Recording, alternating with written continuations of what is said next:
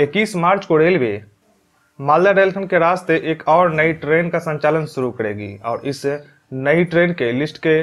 साथ साथ इस ट्रेन के टाइम टेबल्स की भी बात करेंगे इस वीडियो में। तो चलिए शुरू करते हैं आज का यह लेटेस्ट वीडियो अपडेट भारतीय रेलवे की तरफ़ से train number zero nine zero one three के साथ मालदा टाउन के लिए उधना रेलवे स्टेशन से एक नई ट्रेन का संचालन शुरू होने जा रहा है। इस ट्रेन का संचालन 21 मार्च यानी कि गुरुवार से शुरू हो जाएगा। यह ट्रेन उधना रेलवे स्टेशन से नौ बजकर पचास मिनट पर प्रस्थान करेगी, जो कि मालदा टाउन यह ट्रेन 10 बजे मध्य रात्रि शुक्रवार को पहुंचेगी।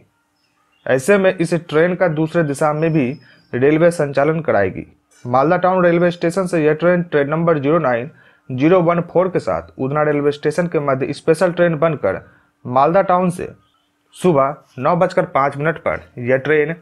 प्रत्येक शनिवार को रवाना की जाएगी तेईस मार्च को इस ट्रेन का संचालन दूसरे दिशा में रेलवे कराएगी, जहाँ पर कि उधना रेलवे स्टेशन यह ट्रेन दूसरे दिन मध्य रात्रि बारह बजे, अपना गंतव्य पहुँच जाएगी। खास बात यह होगी कि इस ट्रेन से यात्रा करने वाले यात्रियों को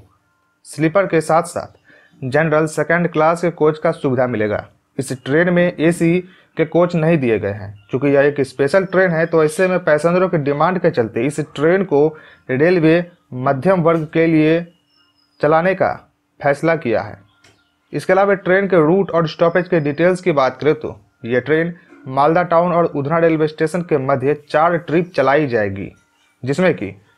पहला railway station Farakka railway station पर मालदा टाउन से खुलने के बाद यह ट्रेन रुकेगी, जिसके बाद यह ट्रेन बढ़ावा साहेबगंज कहलगांव, भागलपुर, सुल्तानगंज, जमालपुर अभयपुर किऊल, मोकामा, बख्तियारपुर, पटना, आरा, बक्सर के रास्ते।